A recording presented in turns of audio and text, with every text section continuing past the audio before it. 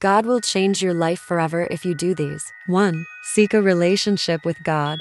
Cultivate a personal connection through prayer, meditation, and regular communication with God. This deepens your understanding and opens your heart to divine influence.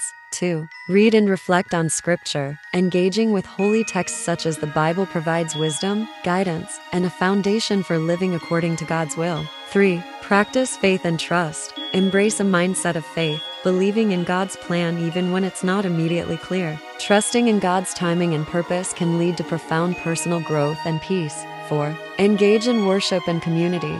Regularly participate in worship services and spiritual communities.